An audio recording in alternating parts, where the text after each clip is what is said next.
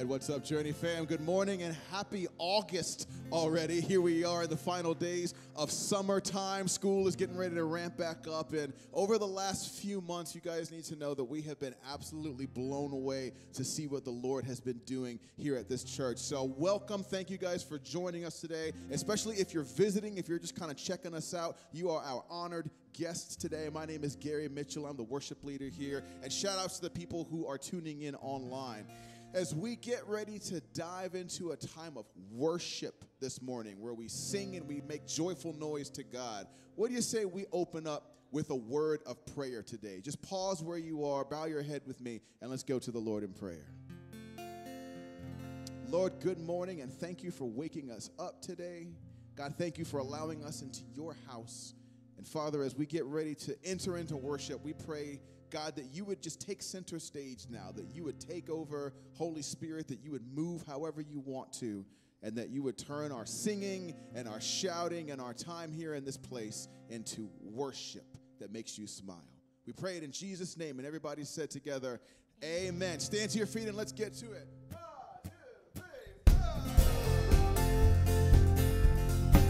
Go ahead and stand on up today. Put down your phone, put down your coffee, and let's get ready to lean in and engage in worship. Let's sing this from the top. Who breaks the power? Who breaks the power of sin and darkness? Whose love is mighty and so much stronger? The King of glory, the King above all kings. Let's do one more. Who shakes? who shakes the whole earth with holy thunder and leaves us breathless in awe and wonder. The King of glory, the King above all kings. This is it. This is amazing grace. This is unfailing love. That you would take my place. That you would bear my cross you lay down your life that I would be set free. Oh, Jesus, I sing for all that you've done for me. Oh, we thank God He's bringing our chaos into order today. Sing it out. Who brings our chaos back into order? Who makes the orphan a son and daughter? The King of glory, the King of glory, who rules the nations with truth and justice, shines like the sun in all of its brilliance. The King of glory, the King above all kings. Hey, this is amazing grace. This is unfailing love. That you would take my place. That you would bear my cross. You laid, you laid down your life. That I would be set free. Oh, Jesus, I sing for all that you've done for me.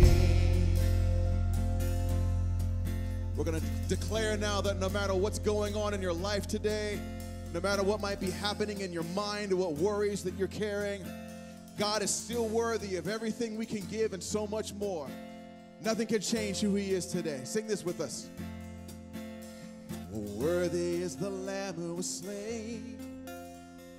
Worthy is the King who conquered the grave.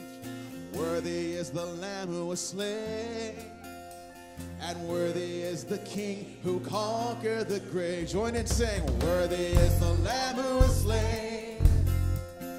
Worthy is the King who conquered the grave. One more. Worthy is the Lamb who was slain.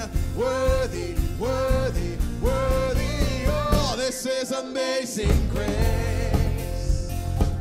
This is unfailing love. That you would take my place that he would bear my cross. Oh, you laid down your life that I would be set free. Oh, Jesus, I sing for all that you've done for me.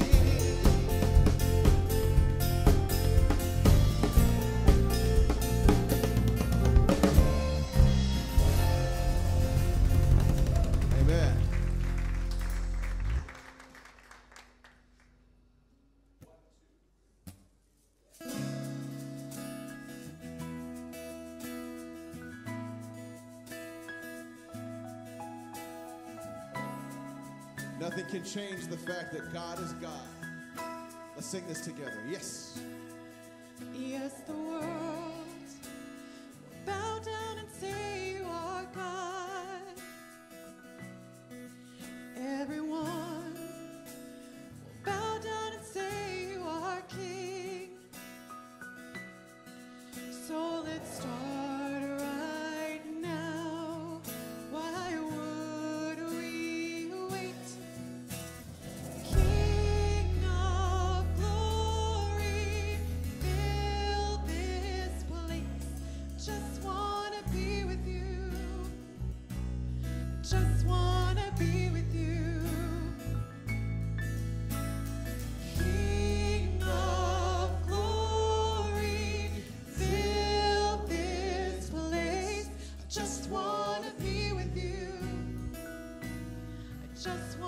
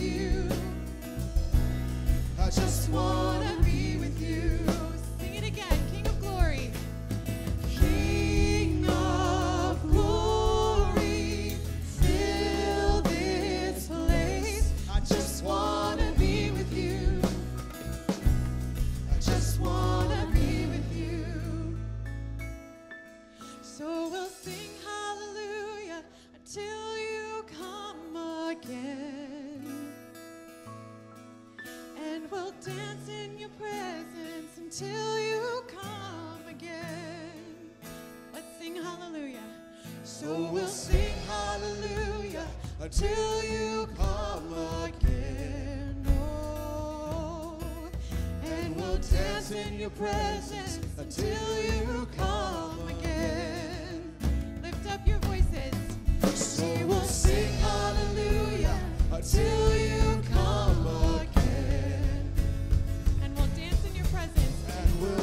in your presence, dance in your presence, dance in your presence. King of glory, fill this place. I just wanna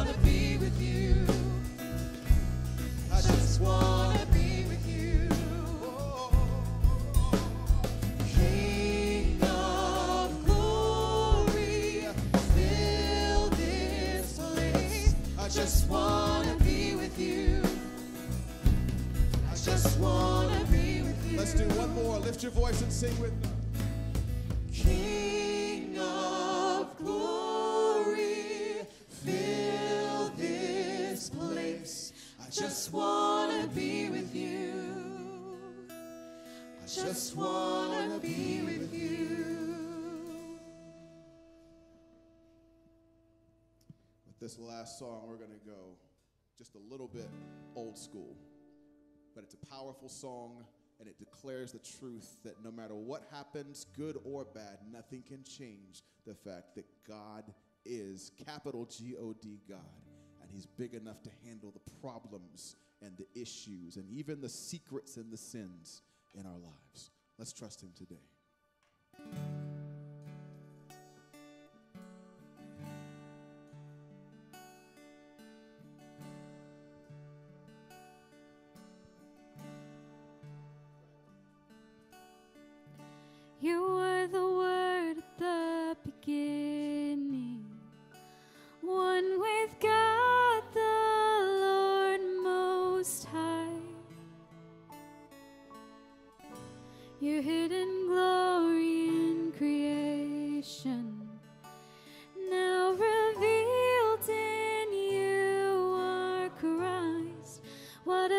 What name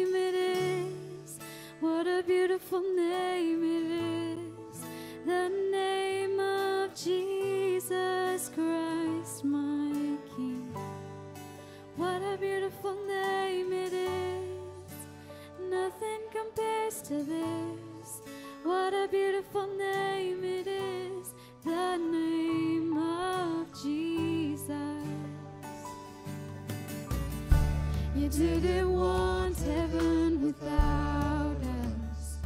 So, Jesus, you brought heaven down. My sin was great, your love was greater.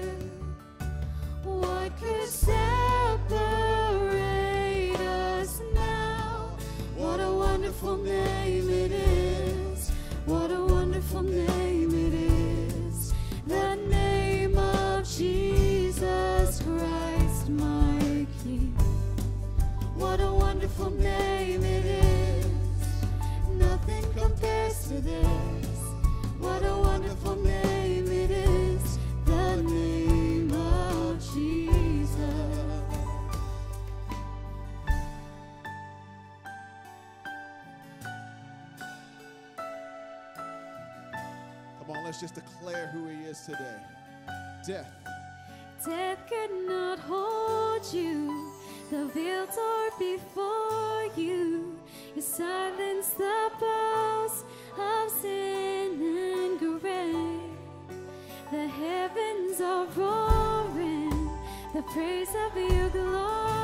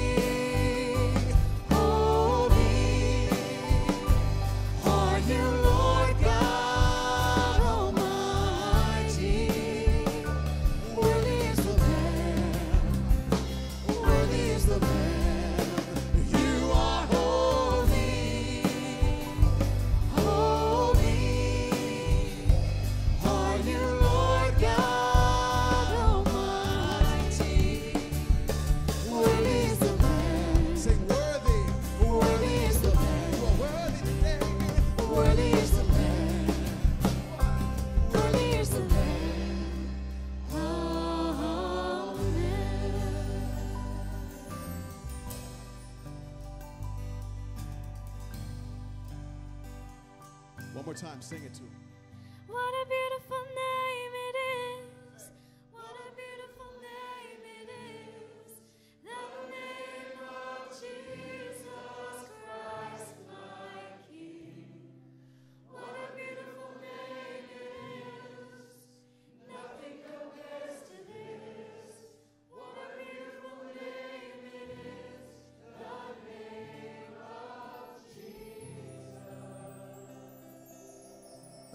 let's go to Him in prayer today. Dear Lord, your name is powerful, wonderful, and beautiful, just like you. Help us to rest in your great love, knowing we have eternal life through your Son, Jesus. In your holy name we pray. Amen. Amen. Thank you guys for lifting up the Lord our God with us today. We invite you to, to continue to do that. You can have a seat. We've got some announcements for you today.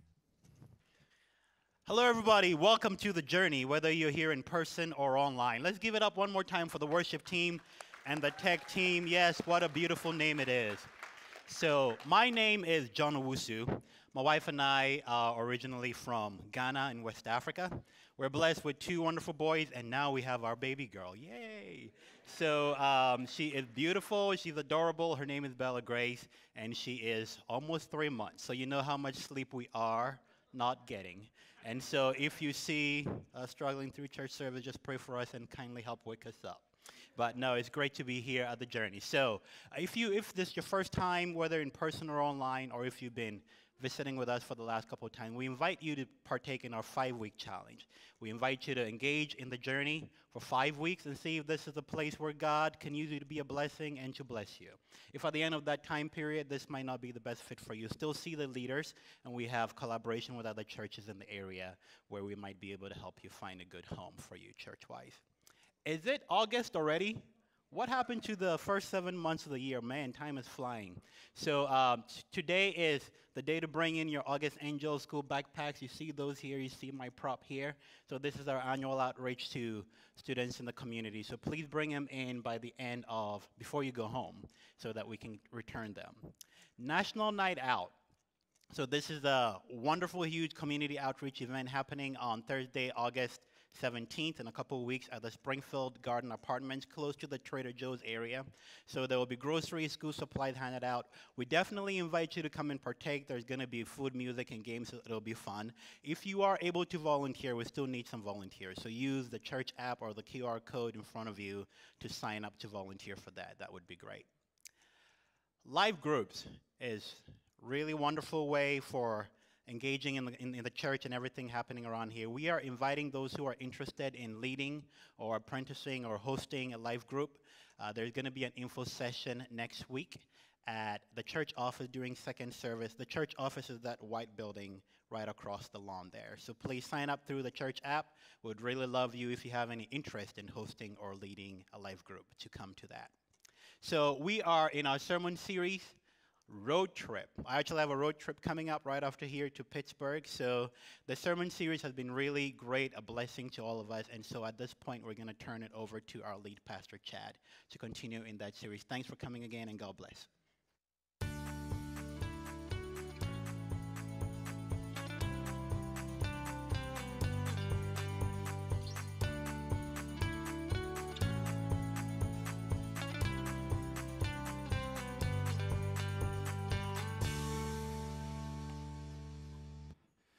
Hey, good morning, everybody. How you doing? Everything snuck up on me. I'm way behind here. Hold up a second. Okay, we're good. All right, first time here. That's not the norm. That usually doesn't happen, but uh, did today. But here's the deal: when you came in, you sat down, and it says giving. You're probably like, "Oh gosh, first service here, first time we've ever visited, and they're talking about giving." We're not talking about giving today. I want to talk to you briefly uh, about our giving program platform that we used. Um, here recently, we changed our uh, system that we were using for the church, and we're, we're using a much better system now. But uh, that means that we've got to make some adjustments, right? Some of you have downloaded the new app, the Church Center app. It's how we communicate with you about everything that's going to happen here. Uh, you can sign up for stuff. You can read about your group. Your group can stay connected. All kinds of different things you can do with that. But if you were doing recurring gifts uh, in the past or still have those set up through our old system, you're going to need to go in there and cancel that, all right? And so uh, if you pull, turn this over on the other side, it says how to cancel your Pushpay gift. You just take a picture of that QR code. Uh, you put in your information, your password, username, all that fun stuff. And then you can go in and cancel that. And after you cancel it, you can turn this over to the giving part and you can hit the QR code there and uh, it will tell you how to begin to set up re- recurring gifts or gifts in general. Now, in case you're wondering, what does this look like? What, is, what does the website I'm going to go to look like? We got a quick little video here we want to show you that help you understand that.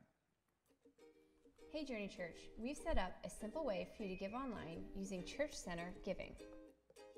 If you want to give a quick gift, enter an amount, select a fund, then enter your email address and your first and your last name.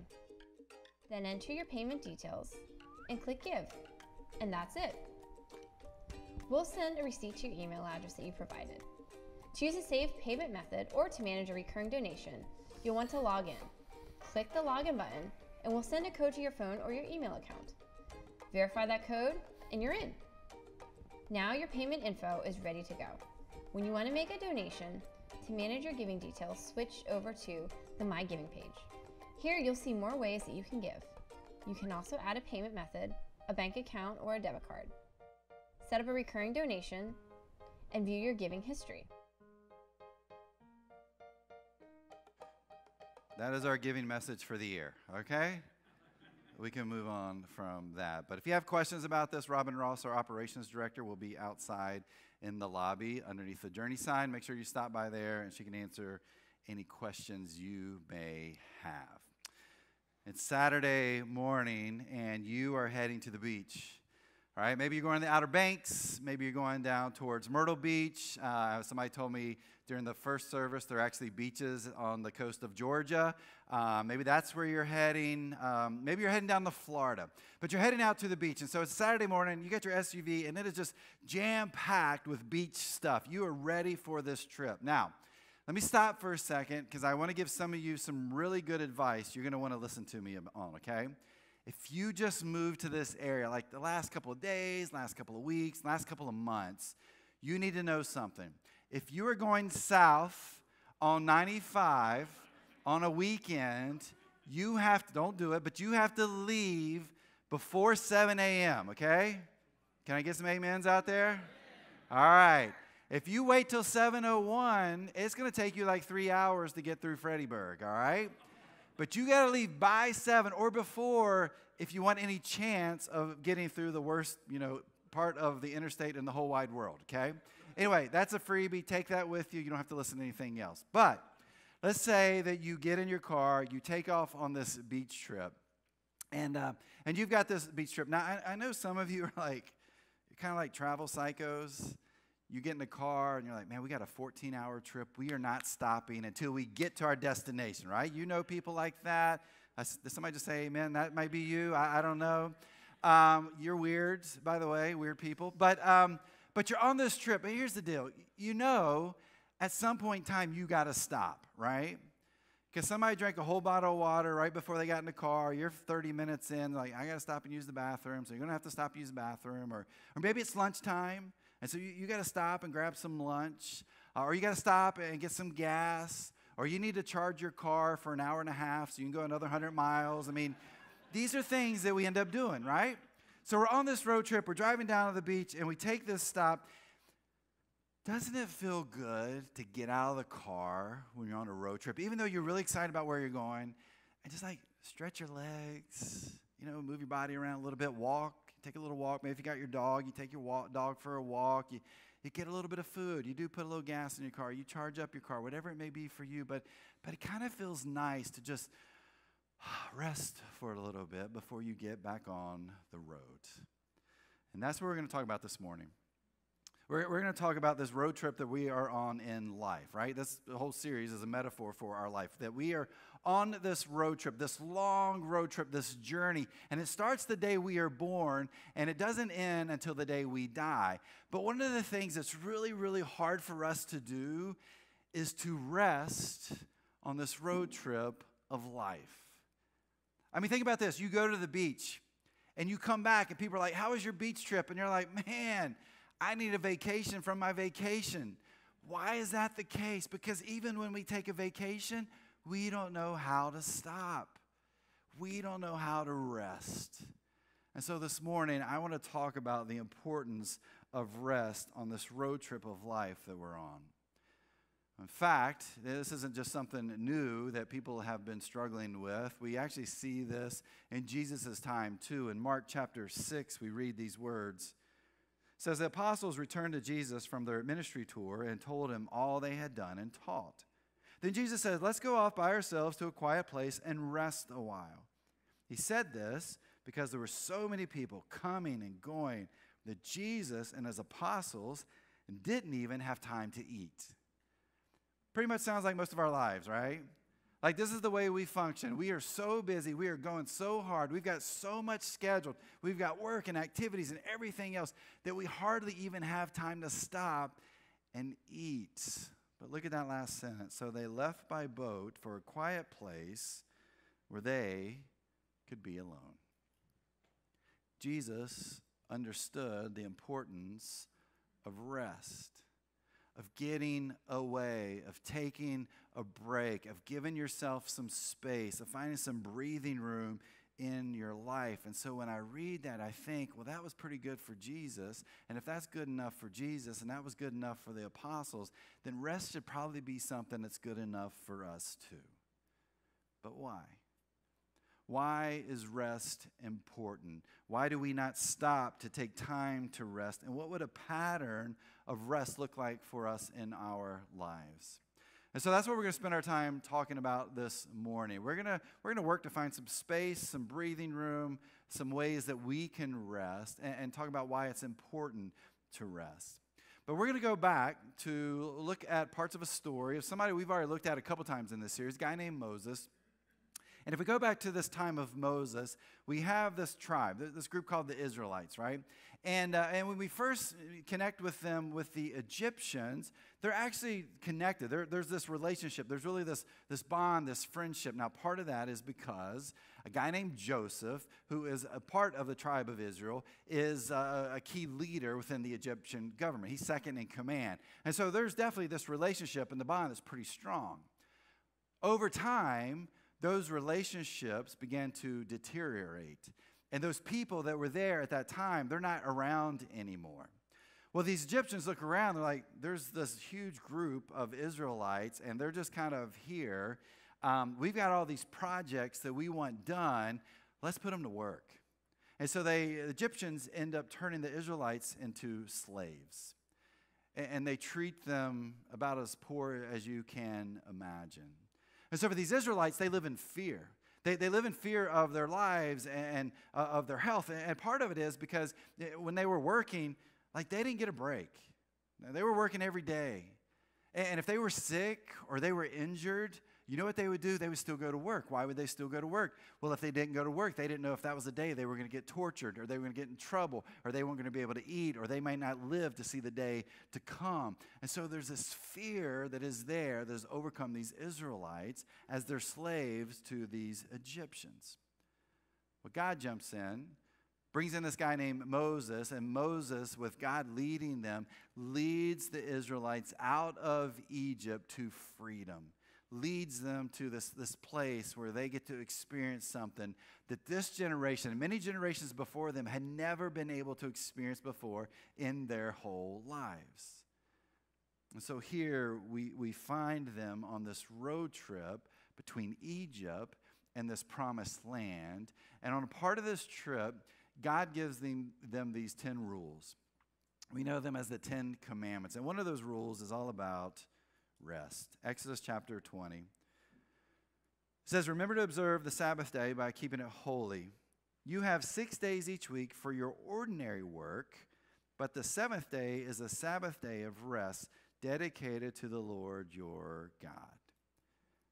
Again, put yourself in the place of these Israelites, right? They have spent hundreds of years in slavery. They don't know what rest is like. They don't know what freedom is like. And here's God who comes in and says, Hey, here's the deal.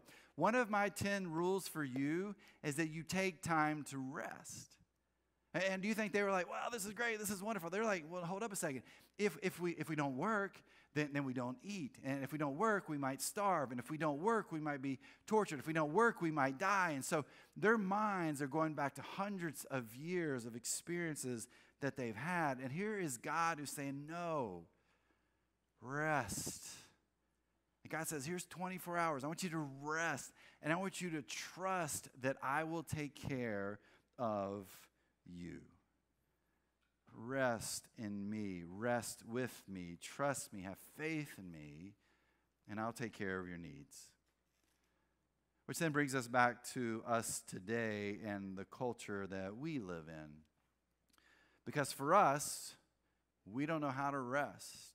And so when we begin to look at our lives and everything that we are experiencing in our life, so much of the tensions and struggles and issues and problems that you and I have comes because we don't rest. I mean, think about it physically what happens when we don't rest? Hypertension, right? high blood pressure. What they're finding now is that younger generations are struggling more with high blood pressure than ever before. Why could that be the case? Stress levels are so high. Why are stress levels so high? It's because we don't know how to stop and rest. When we don't rest, we're fatigued, which makes sense. Oh, by the way, we don't rest, insomnia kicks in, which doesn't make sense. Like I'm so tired because I've been going so hard, but I can't sleep because my body just hasn't learned how to just shut itself down. Or, or maybe for some of us, intimacy's gone, right? Our sex drive is gone. Why? Because physically we are just so tired because we don't know how to rest. And so there's this physical state of who we are that is impacted by not taking the time to rest. There's our mental state. Could be that some of us deal with anxiety and depression because we don't take time to rest. Maybe we lack motivation or we lack focus because we haven't taken time to rest. Maybe we're an irritable person, we're an angry person because we haven't just stopped to rest. And oh, by the way, our relationships suffer too, right?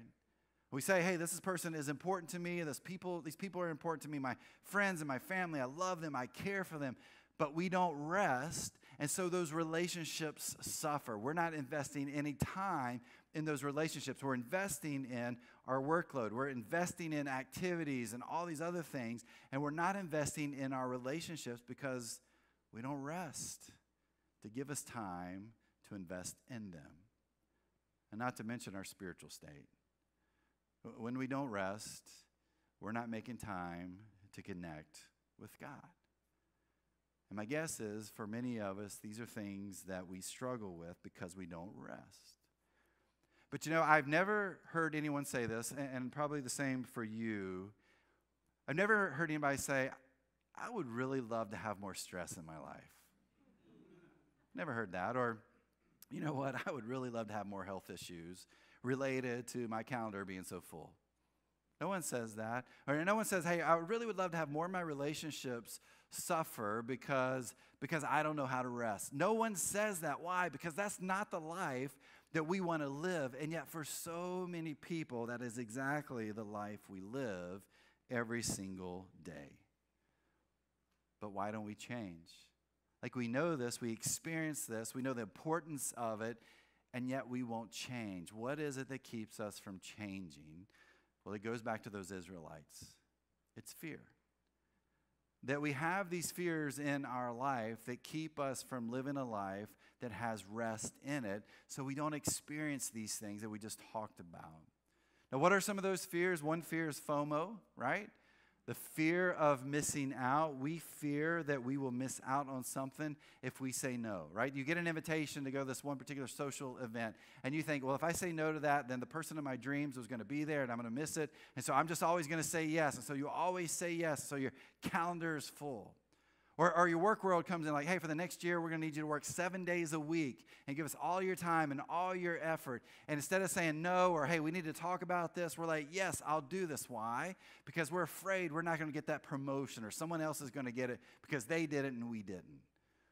Or it could be that when it comes to our work world that another business trip comes up and they keep asking you because you keep saying yes and other people are saying no because they maybe they're a little bit healthier than you are but you keep saying yes because you want that next job. You want that pay increase. And so we keep saying yes to things in our life because we have this fear we're going to miss out on something.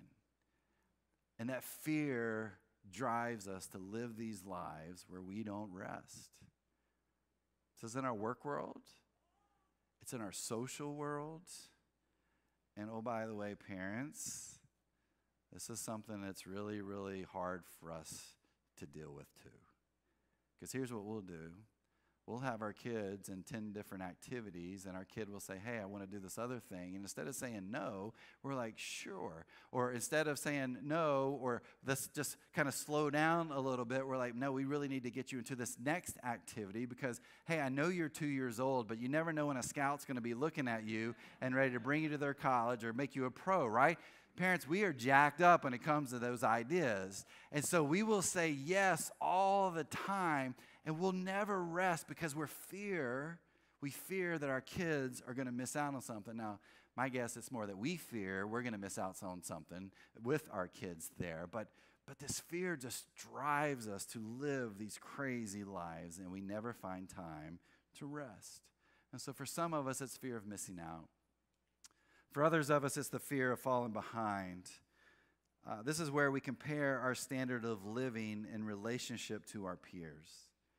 Like we look where we are in life, and then we look at our peers, and we look at the cars they drive, we look at the clothes they wear, the vacations they take, the homes they live in, and then we start to compare ourselves to them. And if we're not at the same level as them, or we haven't surpassed them, then there's this fear that we have fallen behind, and somehow we got to catch up with, with our peers. Uh, Back in 1913, I mean, this isn't something new. There's a guy named Arthur Momand, and he um, came up with a comic strip about this upwardly mobile family, and it was about them trying to keep up with their neighbors. The names of the neighbors were the Joneses. This, this phrase, keeping up with the Joneses, actually comes from this comic strip. And why is this so important? Because even back in 1913, people were struggling with this. And, and here we are today, 100 years later, and we still are struggling with this. We're trying to keep up with the Joneses. And so, this is since is the fear that we have, what do we do? We work harder. We work longer hours. We add more stuff to our calendar. We spend more money just so we don't fall behind. And so, for some of us, we struggle with this fear of falling behind. And then for others, it may be the fear of, of mattering. I can honestly tell you that those first two fears aren't real struggles for me. The fear of mattering is one that I have struggled with my whole life, especially my 25 years in, in ministry. I, I, I want my life to count for something. I, I want people to notice the work that I, I do. And so for 25 years almost, I have struggled with, with getting to this point of, of making sure people notice. Now, here's the funny part I don't need you to notice the work that I'm doing. That, that's not the, the, the group that I, I want to hear that from. It's my peers in ministry. It's other pastor friends who have the exact same job that I do. I want to be able to get together with them and say, hey, let me tell you about all these amazing things happening at my church. Let me tell you about how many people are coming, how the giving's going, how many people are helping in the community, how many people are baptizing. And here's what I've realized, and, and I'm at a way better place, just in case you're wondering, way better place. Counseling has been a part of that and helped me kind of definitely work through this. I have a couple of pastoral cohorts that I'm a part of. And, and these guys have really invested in me as I've done in their lives. And we're all kind of getting beyond this. But, um, but, but one of the things that, that I, I realize is that so often before, I was saying, look at what, look at what I'm doing. And over the past few years, I began to realize I'm saying the wrong thing. It's really look at what God has been doing and look at what I get to be a part of. Because there's this fear deep down that the work that I do, like it doesn't matter. Do people notice? Do my friends and peers notice? And maybe it's the same for you. Maybe you struggle with the same thing. Maybe you struggle with wondering, do I matter? Do people notice my work? On the day that I, I, I quit this job or I retire or I move on to somewhere else, is there going to be like weeping and gnashing of teeth in in the office and be like, Oh, we're going to miss you. People are crying in the streets because you're gone. I mean, we kind of want that, don't we, deep down? But of course, that's not healthy because we have this fear that maybe we don't matter. One of these fears may fit you, and maybe it doesn't. Maybe there's another fear that, that you have. But no matter what that fear may be, there's actually something much bigger at play here. There's a larger issue. Because for you and for me, if fear keeps you from resting, if it keeps me from resting, you know what we have? We have a faith issue. And the question is do I trust God in my life? And that's the same question for you. Do you trust God in your life? I, want to go back to that commandment again that God gave the Israelites because we focused on one piece to that, and there's something that's so much more important in here that we miss. Remember to observe the fa- Sabbath day by keeping it holy. You have six days each week for your ordinary work, but the seventh day is a Sabbath day of what? Rest, dedicated to the Lord your God. So here's what God said God said, Here's the deal. I, I want you to work six days. And, and, then God's like, on that seventh day for 24 hours, I know you, I want you to work hard those six days. That seventh day, here's what I want you to do. I want you to shove as many activities and events and social things in your calendar as you can into that one day so that the next day when you go to work, you're just worn out, you're tired, you don't want to be there, right? And that's not what, what God says here. God says, I want you to take six days, work really hard, put your time and effort into it, but on this last day, I want you to spend time to breathe, to find some space, to rest. And, and not just rest, in this, I want you to connect with me. We hear that in the culture we live in today, and we think to ourselves, man, that's some ways that sounds great, but I don't know how to do 24 hours off, right? You know, I work Monday through Friday and I put a lot of time into that. And Saturdays come and, you know, we're really busy with whatever's going on in our life. And then Sundays here, it's like, oh, I got it. Sunday mornings, that's when I'll rest, right? I'll take off. I'm not going to do church. I'm not going to do anything like that. I'm just going to rest. I got it figured out. I think you're kind of missing the point right here, okay? There's something else that God is saying. God is saying rest, but rest in me. And, and, yet we don't know how to rest. So, how can we do that? Is there a way that we can find this rest in our life that does fit this culture that we live in and is still true to this commandment that God gives? Well, let me give you some uh, ideas of what you can do. And what I'm getting ready to tell you is super practical, okay? So if you're like a super practical person, get out your pen and paper because that's probably how you take notes, uh, or get out your phone. I want you to write these down. If you're like looking for something deep and theological with big church words, I'm sorry to disappoint you. It's not going to happen, okay? But I do want to say this. What we're going to talk about is a theology of rest. And it's so important that we understand this and we live this out, especially if we call ourselves followers of Christ, okay? So here we go. Here's the very first thing divert daily. Divert daily. Every single day, take time to rest and to connect with God.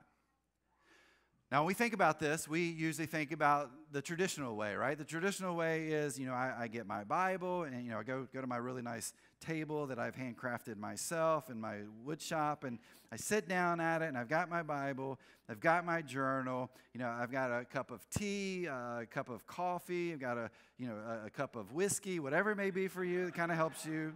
Some of you know what I'm talking about and I'm going to sit down, I'm going to read scripture, and I'm going to journal while I'm doing this, and then I'm going to spend time in prayer. Kind of the traditional way to do that. Now, granted, this is kind of the way that I do it. This what fits best for me and the kind of way I, I think through things. And, and maybe that's you, and there's nothing wrong with that at all. Keep doing that, okay? But there's another group that's like, look, man, I don't have any woodworking skills, so I'm just going to have to sit at my table um, that I bought at IKEA, and I don't really like to read. I mean, what am I? I mean, because I don't like to read and I don't like to write and journal stuff, I guess I just don't spend time with God. No. Thank you. Um, here's how you do it. Uh, here's an example. Let's say you're an outdoorsy person, okay? You, you want to know how you connect with God? You go out for a walk or you go for a run, or you go for a hike, or you get on your bike and you take off. And, the traditionalists are like, no, no, no, you can't do that because you got to read the Bible. And how are you going to read the Bible when you're riding your bike, right? You can't do that. What's going to happen? You're going to crash your bike. Thank God, and I mean this literally, for technology, because because of technology, we don't have to worry about this anymore, okay?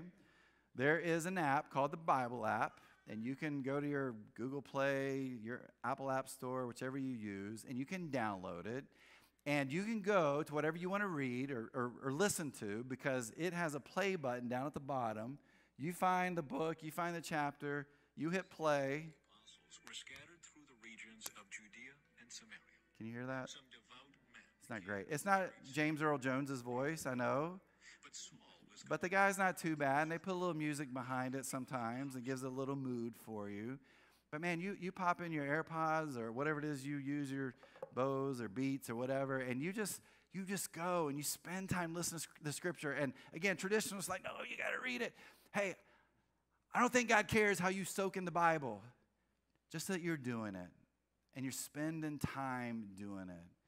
And so you do this, you listen, and then you do that for a little while, and then you turn it off, and then you spend time praying. It's a great way for us to connect. Now, maybe you don't connect either one of those ways. Maybe there's something else that you do. Find out how to do that and divert daily. You get to choose whenever you want to do it, you can choose wherever you want to do it, but divert daily where you're stopping to breathe and rest and connect with God. Okay? First step. Second thing you can do withdraw weekly. We got to learn how to stop working. Uh, we, got to learn to unplug from our phones and email and text messages. We got to learn to unplug from the busyness of life. And so here's a calendar thing that you do. On your calendar every week, you find like a two hour period that you block off just for you. All right? You got kids, you're like, I don't know how to do this. Yeah, you do. You give them a bunch of food, you set them in front of the TV, you go out on the patio, you go to the kitchen table, whatever it may be, let them watch whatever. And then for, for two hours, you just sit and you breathe for a little bit and you rest and you spend some of that time connecting with God. For me, that's Fridays. Uh, Fridays is my day off. It's Kara day, Kara's day off too. So we spend a lot of Fridays together, and um, and part of that is just finding some time just for us to get away as a couple. Some of that is just finding times to do things uh, around the house where we're just kind of we're just kind of resting. Um, and so if you text me on a Friday, I'm not going to answer it. If you call me, which nobody calls anymore, but if you do, I'm probably not going to answer it. Um, if you send an email on the Good Fridays that I'm doing what I'm supposed to be doing, I won't look at my email. On bad Fridays, like this past Friday, I look at my email the whole time. I didn't hold true to this this past week.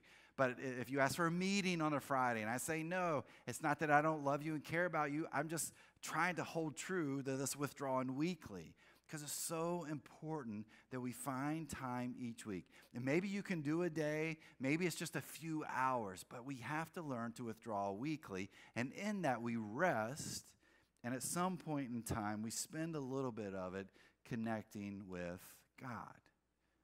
But that's each week. Here's something else quit quarterly.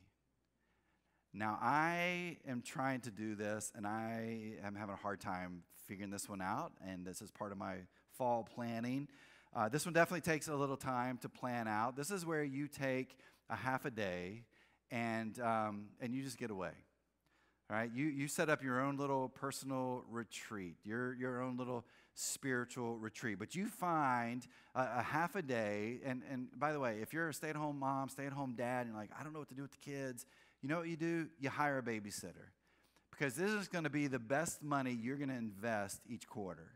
Is that you invest in that babysitter, it might hurt the pocketbook a little bit, but what it will do for you on a personal level and on a spiritual level will be huge.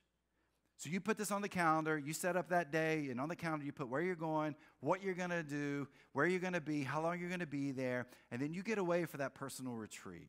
You, you go and you sit and you, you maybe you, you think about the, the past uh, few months, the past year, and you kind of think through that. Maybe you pray through that a little bit, right? Or maybe you've kept a prayer journal. You go back and you look at that prayer journal, like, hey, this is where I see God's been at work.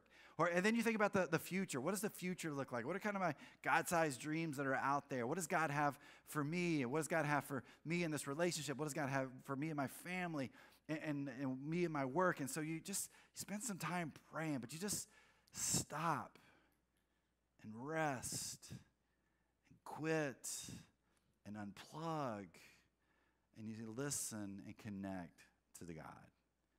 And so quit quarterly. And then the last thing I would say is abandon annually.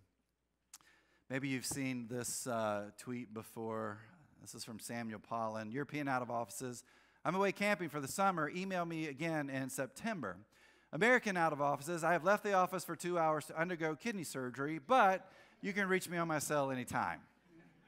Sound right, doesn't it? I mean, I don't know. Uh, most people I talk to from Europe or been to Europe are like, dude, for like four weeks, they're gone. Like, you don't know where they are. You can't track them down. You can't talk to anybody. Like, they literally get away from work. And for us in America, we don't know how to do that. Even if we go in for surgery, like, hey, man, I'm going to be out in two hours. I'll be good. You know, you call me as soon as I'm done. We can make this deal happen. We don't know how to rest, especially when it comes to something like vacations. Like I said earlier, we go on vacations and we come back from vacations and we want to take a vacation because we were busy the whole time we were gone. If you've got vacation days, you got to use them. They're there for a reason. They want you to rest. Even though they act like they don't, they want you to rest because they know if you're rested, you're probably going to be better for the business, for the company. Take your vacation days. And I say this to you as someone who, in seven years, hasn't taken all their vacation days here at the journey. And there's this one part of me deep down that's like, hey, that's a badge of honor, right? I just kept working. I'm better than you because I didn't spend all my vacation days. Here's what I've realized in the last couple of years that is stupid. And honestly, I'm sinning against you, against my family, against myself, and against God. And so I've told our leadership about two months ago, we were meeting, I said, You have got to make sure I am taking all of my vacation days. Because you want me to stick around, I think. You want me to be sane. You want my family to, to be healthy. I've got to take vacation. Hey, guess what? You have got to take your vacation days too. Which means when you get away, unplug. That stupid email app you have on your phone, delete it for the week. Don't answer text messages. Uh, put your phone up somewhere so you don't see it because it's a temptation to go and grab it and see what's happening and what's going on.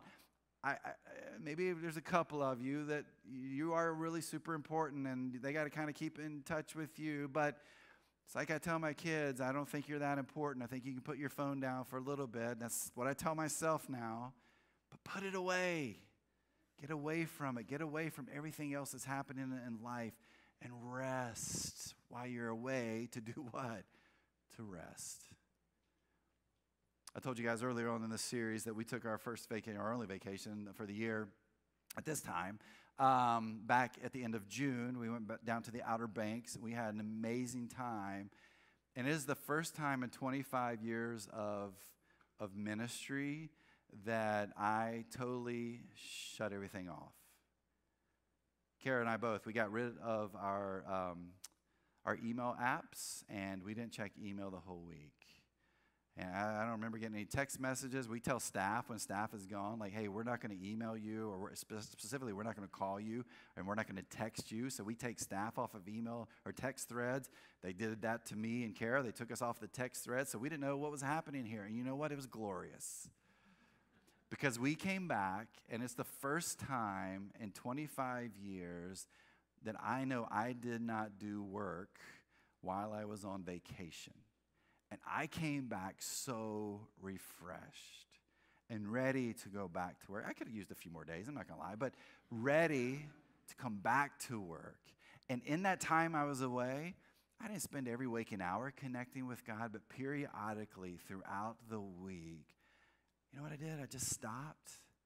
I went out on the patio, I looked at the ocean, and I just, I just rested and connected with God. And spiritually, man, that's exactly what my soul needed. And I bet that's what many of us here need to. To spend time abandoning annually, to get away. Now, that doesn't mean you've got to go to some exotic island somewhere to the beach. Look, you can do a staycation and do the exact same thing. But it's important that we stop and we rest, and in that we connect with God. If we go back to Jesus again, Jesus was great at this. Jesus understood the importance of rest. And if we go in the New Testament, we see story after story where we find that Jesus has been working really hard. And then at the end of the day or early in the morning, he goes off by himself and what does he do? He rests. And every single time, he spends time with God. And like I said earlier, if it's good enough for Jesus, it should be good enough for you and for me. And yet I fear this is the one thing that is missing in our lives. The question is do you trust God? Do you have faith in God? Do I trust God? Do I have faith in God? Because if we do, we will find time to rest. That's why I love this moment of communion that we do together every single Sunday. I mean, it's really the beauty behind it if we think about it. If we go back to the Israelites, in fact, and we think about what they experienced, um, something that they put into practice was this thing called Passover. And Passover was a reminder to them that they had been saved from slavery, that they had this freedom, that now they could put their faith and trust in God, they could rest with God. And the reason was pretty simple because God had, had led them to this new place, God had led them to freedom. And it's the same thing for you and me. That every single week, when we take communion together, it is our Passover. It is our moment where we are reminded that we have been pulled out of slavery too. That we're free. We're, we're free from our past. We're free from our messiness, our sin. We are free because of Jesus Christ in our life. And in that, that means we should have our faith and we should put our trust in God, which means we should take time to rest with God. And so, right now, as we take this together, as we take this piece of bread together, the question for us to think through as we eat it is my faith and my trust in God. Let's eat together.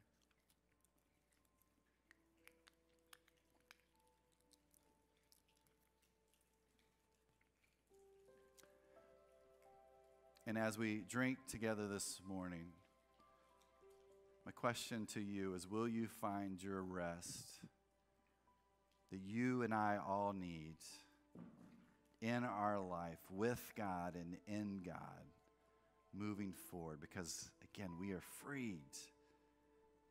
We're freed from our time, we're freed from our schedules, we're freed from our sins.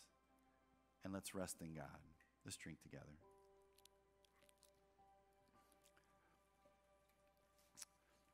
God, thank you so much for the reminder of rest.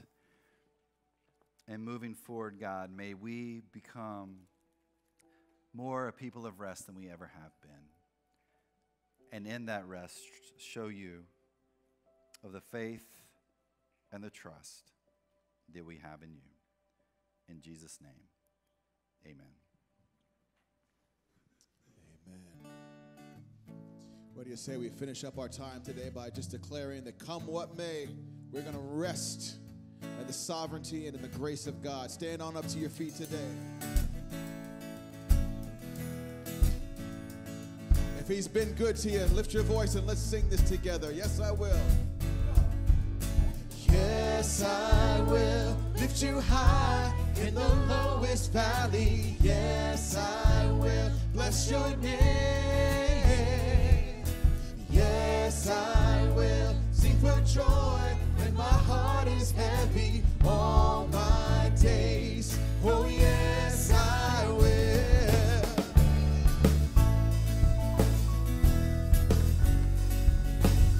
Let's go from the top. This is what we're counting on right here. I count on one thing. The same God that never fails will not fail me won't fail me now in the waiting. The same God who's never late is working all